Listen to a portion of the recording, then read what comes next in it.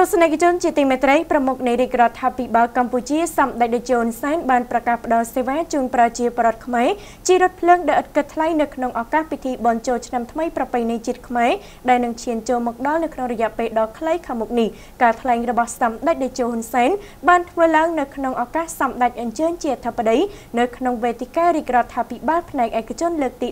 18ដែលប្រពធ្វើឡើងនៅវិមានសន្តិភាពនៅថ្ងៃទី29ខែមិនិនាឆ្នាំ2019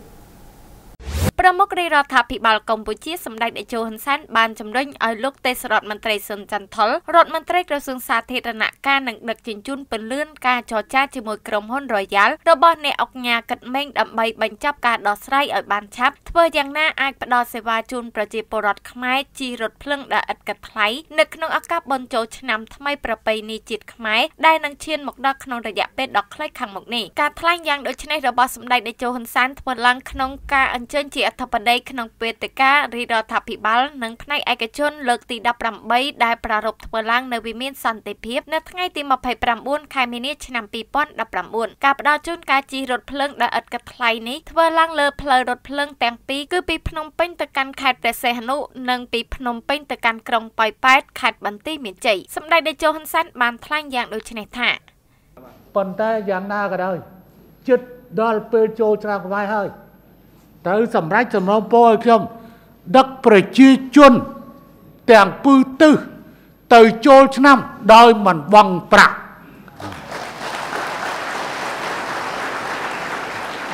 ព្រោះនេះខ្ញុំបានសង្កេតជាមួយកម្មករកម្មការនេះនិងប្រជាពលរដ្ឋ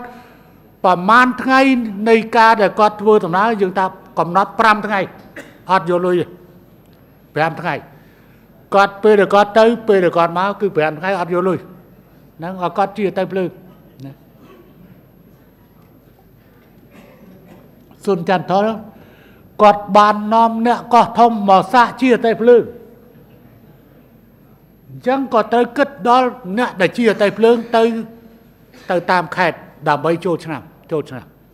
ក្នុងឱកាសនោះផងដែរសម្ដេចតេជោហ៊ុនសែនក៏បានស្នើទៅឯកអគ្គរដ្ឋទូតចិនវៀតណាមនិងជប៉ុនជួយផ្ដល់ក្បាលម៉ាស៊ីនរថភ្លើងនិងទូរថភ្លើងទោះចាស់ក្តីដល់កម្ពុជាដើម្បីអាចដាក់ដំណើរការនិងអភិវឌ្ឍផ្លូវដែករបស់កម្ពុជាខណៈនាយករដ្ឋមន្ត្រីថៃបានផ្ដល់ក្បាលរថភ្លើងឲ្យកម្ពុជាមកប្រើប្រាស់ផងដែរដើម្បីដាក់ដំណើរការសម្រាប់ដឹកជញ្ជូនទំនិញនិងអ្នកដំណើរភ្ជាប់ផ្លូវដែកនៃប្រទេសទាំងពីរកម្ពុជានិងថៃសូមជម្រាបថាសម្ដេចតេជោហ៊ុនសែនតែងតែគិតគូរពីជីវភាពនិងការរស់នៅរបស់ប្រជាពលរដ្ឋខ្មែរពិសេសទុកលំបាករបស់ប្រជាពលរដ្ឋធ្វើដំណើរក្នុងបុណ្យទានដូចជាបុណ្យចូលឆ្នាំថ្មីបុណ្យភ្ជុំបិណ្ឌជាដើមដើម្បីសម្រួលការធ្វើដំណើរទៅកាន់ស្រុកកំណើតនោះសម្ដេចតេជោតែងផ្ដល់ការជិះរថភ្លើងដ៏ឥតគិតថ្លៃក៏ដូចជាការជិះរថយន្តក្រុងពីភ្នំពេញទៅបណ្ដាខេត្តដ៏ឥតគិតថ្លៃផងដែរ